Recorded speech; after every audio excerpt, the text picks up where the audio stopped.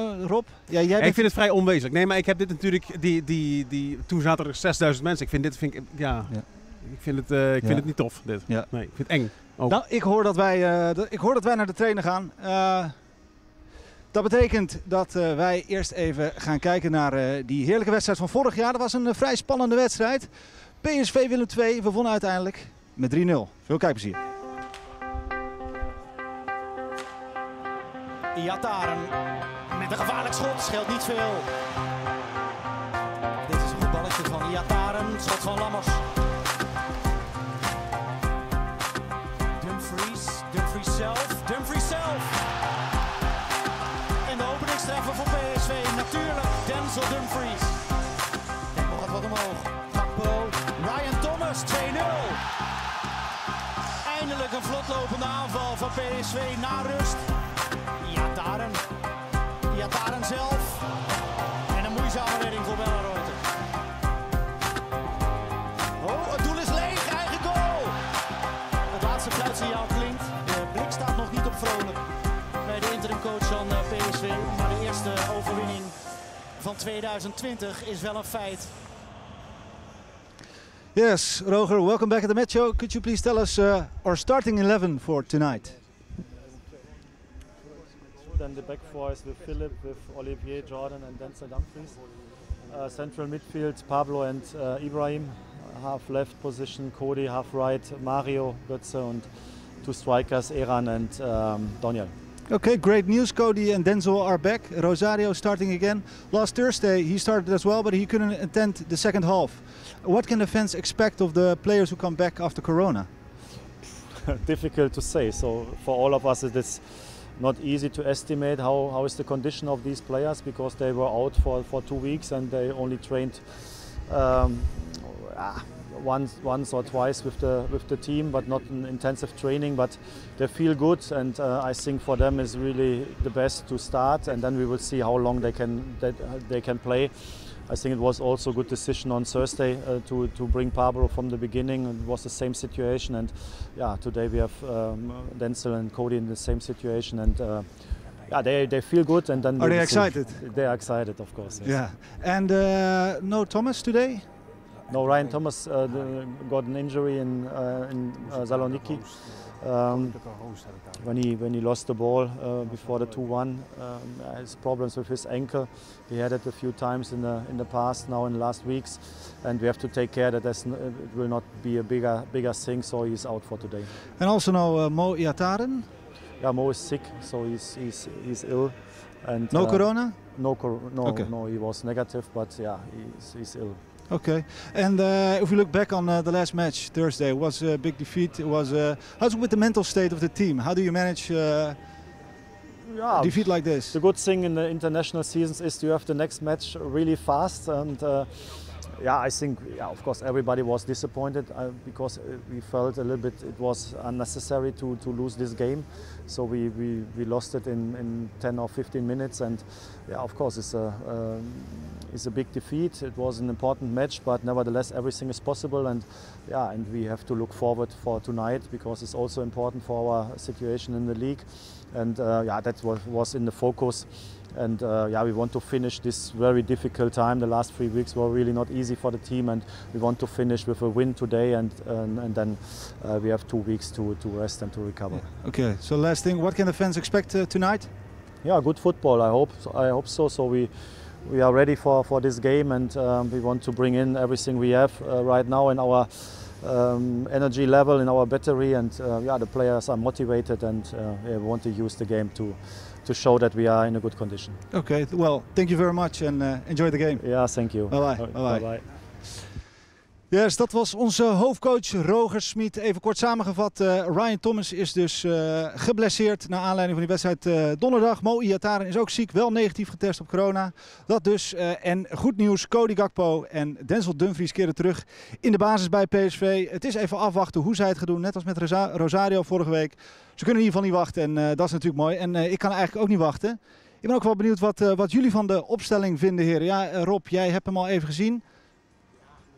Oh, en eh, daarbij vergeet ik bijna te vermelden dat wij eerst even gaan kijken naar de mooiste momenten tussen PSV en Willem II.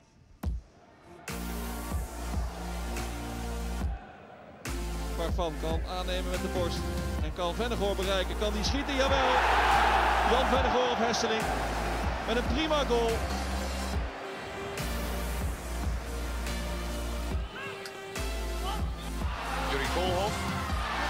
Koolhof. Kan dan toch scoren, Jurie Koolhof.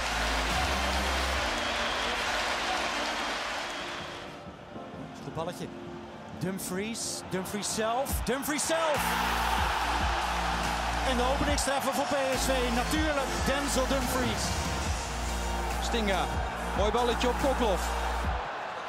Scherpe voorzet en het eigen doelpunt is daar van Marco Gentile.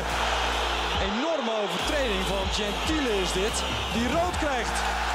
Wat een rampavond voor Marco Gentile. Nummer 11 heeft dat belangrijke attribuut in zijn bezit. Dat daar beneden bezorgd moet worden. Waar hier zeker de afgelopen vijf jaren zo naar uitgezien is. Ja, nee, Landploeg goal ja. Het is nu dan toch de paai. De paai met zijn doelpunt brengt PSV op voorsprong. Elleman is niet buitenspel. En Schepers zal het dan kunnen doen, doet het ook.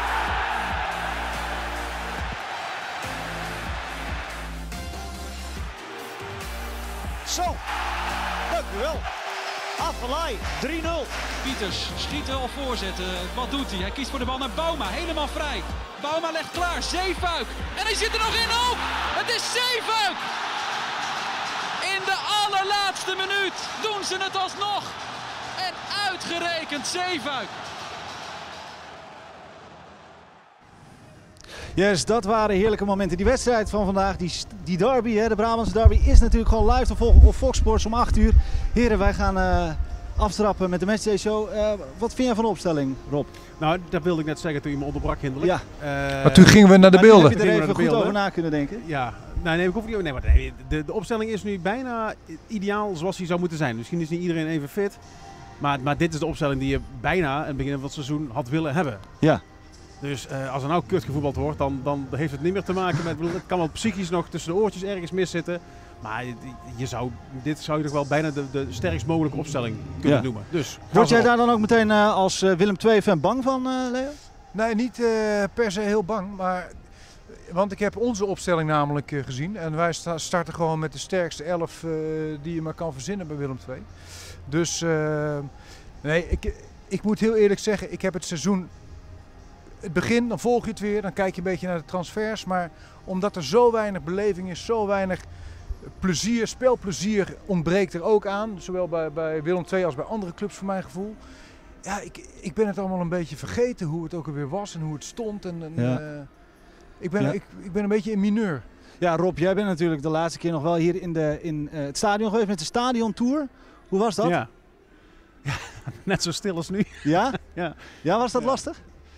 Nou ja, het is, ja, ja, goed, dat weet je ook, Leo. Als je optreedt en uh, voor een theater, daar, daar is afgestemd op het publiek. Dus dat, dat, dat, heeft, een, dat heeft een akoestisch plafond en het is laag en het is dicht op elkaar en het is Kijk, energie. daar sta je erop. Daar sta ik, ja.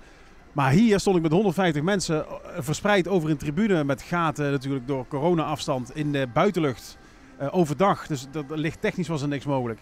Ja. Ja, het, was, het was wel een fantastische ervaring. Ja. Maar, maar uh, ja, het, het, maar goed, net zoals het voetballen nu een hele schrale afspiegeling is van het voetballen zoals het was, was dat ook een hele schrale afspiegeling van wat theater kan zijn. Ja, ja. ja hoe beleven jullie nou die, die hele corona? Het, het houdt niet op, hè, maar hoe zie jij dat bijvoorbeeld in het voetbal terug? Wat, wat vind je ervan? Nou, ik vind het heel jammer. En ik, ik merkte het al, de, de eerste wedstrijden die ik dan nog wel heb gezien, of de eerste wedstrijd in het Willem II-stadion die, waar je bij kon zijn. Inderdaad, hier dan 6000 man en bij ons waren het dan 2.500, 3000 man, geloof ik. Ja, maar die sfeer, die, dat, dat, dat is net niks meer. En bij Willem II, en dit team met name, heeft gewoon echt die twaalfde man nodig. Dat merk je gewoon heel erg. Het hele succes van Willem II vorig seizoen, met een beetje geluk dat Europees halen door dat, dat, dat akkefietje met FC Utrecht. Het, het valt allemaal wel samen, maar het heeft vooral te maken met die ontzettende achterban die er is. Ja. En die dat kabaal maken en er iedere wedstrijd en iedere training weer staan. Ja. En ik, ik weet het, dus ook dat stadiongeluid wat ze dan bij samenvatting zo ondermonteren. Hè, dat vind ik Ja, sowieso sneu. dat Dat Fox, is- ja. ze, hebben dus, ze hebben dus gewoon mensen die fluiten. Hebben ze, ze Nee, hebben ja, ook deels bijvoorbeeld, je hoort ook, je hoort ook eh, de PSV-fans gewoon de liederen eh, Ja, zingen maar hoor je dat hier ook? Of is dat, Nee, is dat, dat- in- is dat, dat is- live erbij gemonteerd? Dat is alleen bij de Zit tv. iemand in de studio zit Ja. dat gewoon... Ja. Dus hier is daar doodstil hier. Vind je dat niet goed? Jawel, dat doet wel iets. Je hebt, Ja, toch? soms heb je bijna niet in de gaten eh, dat er niemand zit. Nee, ik voel me wel gefopt. Ja, ik voel nee, is me ook- wel gefopt, want het zijn fluitsignalen vanuit het verleden, weet je wel. Ja. zijn, er zit niet iemand echt live op zijn vingers te fluiten omdat hij het niet eens is met de scheidsrechter. Nee. Dus Maar ze als schat nou- het een beetje in van, nou ja, nu zullen ze wel oneens zijn met, met de arbitrage. We, we drukken op het fluitje. Ja, ja. Maar goed, het is bij iedere, iedere, iedere club hetzelfde liedje. Hè? Ik bedoel, het is niet alleen... eh, iedere club in de Eredivisie heeft last van dat er Ah, geen maar succes- sommige clubs- sommige even, clubs hebben er Ik meer moet last wel van. even gezegd hebben, er is echt heel goed over nagedacht hoe dat, eh, hoe dat gaat met audio. Hè? Dat is niet zomaar even... Nee, maar eh, goed. toch? Ja, ja. Ja, ik weet, Ja, ja. nee, ja, ik, Maar ik ik wist, ik niet, weet je het hier ook? Of weet je het hier ook? Nee, maar als je, als je niks hoort, dan is het helemaal eh Ja, maar dan hoor je nog wat ik wel leuk vond. Het enige wat ik dan positief aan dat hele lege stadion kan noemen, is dat ik het leuk vond dat je de communicatie op het veld kon horen. Ja. En dat vond ik grappig, omdat je dan dus sommige ballen zag waarvan je in een vol stadion niet zou begrijpen wat ermee bedoeld werd. En dat je nu Ja. dacht, hé hey, grappig zeg, hij zei je moet gaan en hij ging niet. Ja, ja. Dus dan was het een hele mooie bal Ja, dat is leuk inderdaad. Ja. Ja. als we dan toch nog even, eh, Rob, jij zei net van ja, dit is eigenlijk de sterkst mogelijke opstelling. Geen excuses, maar we vergeten wel eens dat, eh, dat de spelers die nu opgesteld worden, dat was ook een van de eh, redenen waarom PSV ADO eh, uitgesteld, eh, waarom we wilden dat PSV Ja. ADO werd uitgesteld was, dat de jongens in het rood staan. Hè? Ja. De- En, en eh, die, er spelen jongens die eigenlijk niet zouden spelen in normale condities. Eh, hoe kijken jullie daar dan naar? Ja, je moet iets. Hadden we, had PSV ADO, want je, eh, vorige afgelopen donderdag hebben wij verloren. En die zo'n beetje ook. Eh, had PSV ADO achteraf gezien eh, uitgesteld moeten worden? Nee joh. Jij vindt van niet. Jij Leo? Nee, ja, denk het ook niet. Nee, volgens mij moet je wel gewoon je hele programma spelen. Alleen, het is, daarom is de, de kampioen van het komende jaar, dat stelt niet zoveel voor. Want het is maar een beetje, wie is er gezond? Wie is er Ja. niet besmet geraakt eh, de afgelopen week? Ja, we spelen met de meest fitte. En, eh, en eh, als er, eh, volgens mij vooral bij PSV de laatste weken, Ja. aan de lopende band eh coronabesmettingen. Ja. Dat is verschrikkelijk vervelend. Maar je kan dus nooit zeggen van ja, maar we hebben altijd met de sterkste elf gespeeld. Die lagen ziek in bed. Dat is- Precies. Hebben jullie eigenlijk wel eens een show gespeeld eh, en dat je niet 100% fit was? Nou, ik heb, ja, ja, ik, heb, ik, heb, ik heb opgetreden natuurlijk de afgelopen maanden nog. In het theater. En dan moest ik twee keer op een avond. Ja. Dus dat is, al, dat is al best heftig. Eh, en dan ook nog eens dat je vaak overdag hoorde dat het s'avonds doorging. Omdat er dan moest er weer ont- ontheffing aangevraagd worden bij de veiligheidsregio. Ja. Weet je, en, en, en dat is dan die, die onzekerheid die die spelers ook hebben als ze s'avonds gaan spelen, die heb je dus dezelfde onzekerheid. En dan, en dan moet je twee keer optreden voor een zaal die op dezelfde treurige manier ingedeeld is als, als hier. Met allemaal, weet je wel, allemaal plukjes mensen.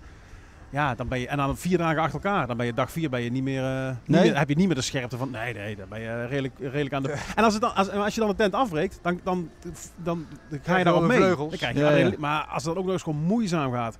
Ja, Ja. Ik kan me wel voorstellen dat dit gewoon minder tof spelen is ook gewoon. Ja, maar heb jij dat nooit gehad, Leo, dat je echt een keer doodziek was en dat je toch moest spelen? Of dat je Ja, eigenlijk dacht van, wel. ja? Ja, maar bij ons was wel altijd. Op het moment dat je echt niet meer kan lopen, dan, dan gingen we de show annuleren. en anders dan was het gewoon spelen. Maar ja, dan, ik heb wel eens met 40 graden koorts een voorstelling Ja. gespeeld. Ja. Maar dat, daar stap je overheen, hè? Ik weet niet of het bij jou is. A- Ja, dat klopt. Qua adrenaline stap je daar overheen. Je kunt met de meest walgelijke kwalen het podium opstappen. Dan ben je vergeten anderhalf uur lang. Alleen, wij hoeven geen fysieke prestatie te leveren. Nee. Maar het waren ook deels. niet de beste shows. Nee, absoluut Überhaupt speelde ik nooit in de beste shows. Dus Nee. dan, dan, maakt het, dan is het contrast niet zo groot. Ja. Hey, maar laten we nou eens, eh, laten we nou eens naar eh, eh, jullie als fan gaan. En Leo, wat is eigenlijk jouw mooiste moment als Willem II-fan? Nou, ehm, tja, mijn mooiste moment als stil op 2 fan. Denk daar even rustig over na. Misschien kunnen we vast... eh, Eh, ja, hier, daar gaan we Hebben we al. nog Rob, beelden? Rob, jij weet natuurlijk meteen wat jouw mooiste moment is als PSV-fan. Nee joh, dat is, maar dat is zoveel. Ja, wat schiet nu als eerste bij... eh, Het mooiste moment, het meest intense moment was het kampioenschap in eh, is dat 2016, dat onverwachte kampioenschap. Dat ze van Zwolle eh, wonnen en Ajax, eh, maar dat, omdat er dat andere onverwachte kampioenschap, Ja. was ik, zat ik in Italië, maar toen was ik thuis en ik zat met de radio. En toen heb ik echt als een, als een, als een waanzinnige in de tuin staan schreeuwen. Toen ben ik met mijn kinderen toeterend hier door de stad gereden. Dat is mijn meest intense Kijk. beleving geweest. Ja. Ja. Eh, ja, nou, Leo heeft nagedacht. Ik, zie... Nou ja, nee, ik zit een beetje te twijfelen. Kijk, we hebben natuurlijk afgelopen jaar die bekerfinale verloren. Maar we Ja. stonden wel in die finale, wat natuurlijk ontzettend mooi was. En eigenlijk is het mooiste moment, daar was ik niet eens in het stadion bij, maar wij waren in de Schouwburg een voorstelling aan het spelen. En toen won Willem II met penalties van AZ. Ik weet niet of je die penaltyreeks nog, de halve finale beker. Ja. En toen dat, wij zaten in de artiestenvier te kijken, de voorstelling liep nog. Er stond een heel orkest op het toneel. En toen ze die penalties wonnen, toen hebben we meteen live daar eh, het clublied van Willem II gezongen. Met strijkers en pauken. En, eh, ja, Ja, dat, dat, is mooi, ja. ja. En maar, maar- en, en Europees vorig jaar, was dat niet eh, een van je hoogtepunten? Ja, maar ja, ja. En dan mag je eigenlijk Europees en dan mogen er geen fans ja, bij nee, zijn. precies. En, da- en dat is ook wel een beetje een frustratie. Want ik denk die wedstrijd die we thuis hadden tegen de Rangers. Dat was nou een wedstrijd waar je dus als Willem II supporter... De, dat zijn de wedstrijden, daar wil je bij zijn. En ik denk ook dat je daar met het legioen dan een verschil kan maken. Als die mensen er zitten, dan, dan maakt dat echt wel een verschil met wanneer je vooral voor die, voor die blauwe stoeltjes staat te voetballen. Ja, ja. Verschrikkelijk zonde. Ja? Ja. Ja, dat, Ja, maar dat dan ik. gaat het bij Feyenoord natuurlijk ook mis. Ja. Nou, eh, waar ik het ook nog even over wil hebben, het is een derby. Hè? Die derby van vanavond is natuurlijk ook gewoon live te zien op Fox om 8 uur. Maar eh, voelt dit ook voor jullie als een, eh, als een derby, Rob? Zie Voor dit? mij sowieso niet, omdat het niveauverschil te groot is, denk ik, over de jaren heen. Weet, ken je, ken, er komt ken iets je, moois. ken je, Ik kan me die 5-0 herinneren. ken je, Eh, ken je, ken je André die eh, straft in de bal. Ah, daar heeft hij ook gewoon... is dat André Ooyen? Nee, toch? Dat is André. Ken jij, ken, jij, ken jij de shorts nog met Comment ça va? Ken je het liedje van Comment ça va? Ja. Ken je dat nog? Ja. Weet je, dat stond op 1 op, op 2 september 1983. Waar ga je naartoe, Rob? Waar ga je Dat naartoe? was de Ja, laatste keer dat? Willem II hier gewonnen heeft. Die stond toen op 1. Dus het, is, Oh ja. ik, nee, Ja. het, het krachtverschil is te groot. Dus ik ervaar het niet meer. Maar van ja, ik bedoel, er is er één derby bij jullie. Ja, dat, en, die, ja, en die wordt dus niet gespeeld, want dat is tegen NAC. En, die, Ja. eh, en, die, Ja. en dat vind ik ook jammer, dat, dat, eh, dat die er ook niet meer in zit. Maar ja, goed. Maar hoort dus geen, geen derbygevoelens. En hoe was dat voor jou dan Nee, vorig maar- jaar? Vorig jaar kan ik me voorstellen dat je als Willem II-fan dacht... dit is het moment waarop wij gaan Ja, winnen. ik zat hier vorig jaar met die 3-0 nederlaag die wij hier eh, eh, om onze oren kregen met Hans van Breukelen. Eh, Ja, ik zag jou vooraf bij Fox ook heel enthousiast in de camera zeggen van... ja, dit is... eh, Dit is het moment. Maar toen zaten we ook in zo'n eh, ja, goede. eh, we hadden een paar een mooie reeks achter de rug. Ja, en dan krijg je hier weer zo knullige op je, op je ballen. Hoewel ze in het begin ook nog best wel een paar kansen hebben gehad. Maar ja, dan eindig je met zo'n eigen doelpunt in de 90ste minuut. Eh, Allemaal ellende, jammer, zonde. Ja joh. Ja. En het krachtverschil is een beetje kwaliteitje. Kan die man weg? Want dit vind ik heel Het, eng. eh, maar, het is, het, is, het is heel treurig André, we hadden het over eh, of, het, of, het een, of het een derby is of niet. Tuurlijk, het is toch een derby, het is toch een regio toch of niet? Maar hoe was dat als speler? Eh, Beleefd je PSV Willem II? Want wij hebben het hier net over. Rob zei ja, hier is, hier sinds 1983 heeft Willem II hier niet meer gewonnen. Eh, zo, het, het stond krachtverschil jij is te erin, groot. Toen stond jij erin. Was hij net gestopt toch? Toen was ik net gestopt in 83. Nee, maar ja, het is voor een club als Willem II is, is het een ander derbygevoel dan voor een club als PSV. Dat, dat is gewoon zo. Maar dat blijft nog steeds een derby is en dat het een bijzondere wedstrijd is. Alleen de tijden zijn natuurlijk ook voor als je naar ons kijkt. Hoeveel Brabantse jongens zitten er nu bij ons in de ploeg? Cody Gakpo, Eindhovenaar. Ja, dat bedoel ik. Jorrit Hendricks heb je nog en dat, dan, dan houdt het een klein beetje op. Dus dat is ook een derbygevoel, is ook vaak bij de spelers zelf natuurlijk. En dat is minder. Maar nu bij de supporters eh, leeft het denk ik wel zeker. Maar ja, die mogen er niet bij helaas. Nou, Leo, eh, die, vorig jaar hadden we even het gevoel dat we dachten dat, eh, dat Willem II hier wel zou winnen. Maar toen won... Net of hij van Willem II is, maar dat is hij helemaal niet. Hij is gewoon van PSV is hij. maar dat het net over Willem II is. Want hij komt ook andere wedstrijden bij PSV kijken. Ja, klopt. Ik, ik Ja, ben je een paar keer Ja. tegengekomen. Ja, Ja, nee, ik kom eh, regelmatig kijken. Ja. Ik wilde eigenlijk net vragen aan Leo eh, en, en aan Rob wat zij er nou van vonden. Nu we, hè, we hebben echt grote sterren binnengehaald. Guts, eh Sangaré. Eh, hoe kijken jullie nou naar de ontwikkeling van PSV? Is dit PSV, eh, zien jullie dit misschien volgend jaar wel heel hoog eindigen? in Misschien wel Europa League? Dit is aan hun. Ik, ik Ja. heb geen idee. Veel plezier, hè? succes. Hè, wat, Ik heb echt geen idee. Dat, dat zou, ik, maar eh, wat dacht jij toen Gutsen gehaald werd? ja, toen dacht ik, hoe hebben ze dat nou voor elkaar gekregen? Maar ja, eh, en dan vind ik het ook wel leuk dat hij meteen bij zijn debuut scoorde, scoorde volgens mij. Hè? Gutsen, skeurde. Skeurde. Scoorde. Godse skeurde. Ja, dus dan eh, denk ik, oh ja, grappig. eh, maar ik, ik dacht ook van, dan haal je wel een grote naam binnen. Want Duitsland wereldkampioen gemaakt. Eh, en kan die, het, kan die het dan nog of zo, weet je Ja. wel? Hoe, hoezo... eh, Maar goed, even, wat verwachten jullie vandaag? Ik, nou, ik had, ik had eh, iets wat te ambitieuze verwachtingen van dit seizoen, wellicht. Ja. En wat, maar wat verwacht je van vanavond? Ja, PSV ik vind-? Ja, een redelijk makkelijke overwinning. Sorry. nee, Leo? ik hoef geen sorry voor te zeggen. Ik denk eh, 4-0. Ja. 4-0, gewoon de 4-0. Ja, ja. Ik denk, eh, ik denk dat, dat Willem II is. Het, ik, ik denk dat... Ik ga toch weer voor de 1-2 voor Willem 2. Want je weet het niet, hè? Zullen we er een krab bier op zetten, Rob? Zo er twee Dat kratten lijkt me een goed idee. Eh vechten jullie Zullen dat we een even fles uit? champagne opzetten gewoon? Ah, ik ben eh, een champagne-liefhebber, dus dat is ook goed. En ik heb, niks, te- ik, ik, ik, heb, ik heb geen optredens nu, dus ik, en ik kan wel wat een fles champagne gebruiken voor oudjaar. en eh, ik heb het geld zelf niet, dus dan Nou, doe ik het op deze manier. fles champagne? Ja. Top. 1, 2, 4, 0. Oké, heren. Nou nee, ik- nee, winst of verlies toch? We gaan het er niet... Ja, oké. Heren, ik dank jullie in ieder geval voor jullie tijd. Heel veel plezier. Jullie zijn als een van de weinigen wel aanwezig in het stadion. Ja. Ga daarvan genieten. Ja, voor iedereen thuis natuurlijk ook heel veel plezier bij die derby PSV Willem 2. Wij gaan afronden. Eh, die wedstrijd van vanavond is natuurlijk gewoon live te volgen op Fox Sports om 8 uur. Heel veel plezier met de mooiste goals van PSV tegen Willem 2. Om kwart voor acht wordt hier gevoetbald. Het is de meest eh, interessante wedstrijd in de Eredivisie dit voetbalweekend. PSV en Willem 2. Gerets. Vadenburg. Terug aan zijn vertrouwde rechterkant.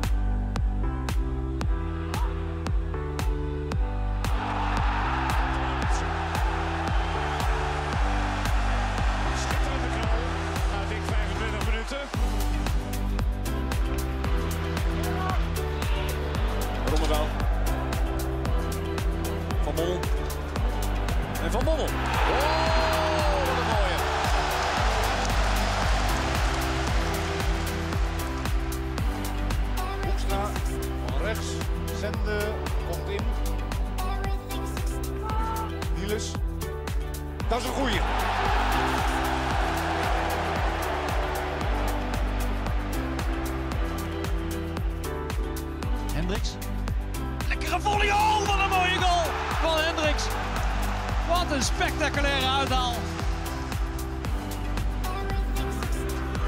Koevermans. Wil het heel mooi doen en doet het heel mooi. Oh, wat een onwaarschijnlijk mooi doelpunt.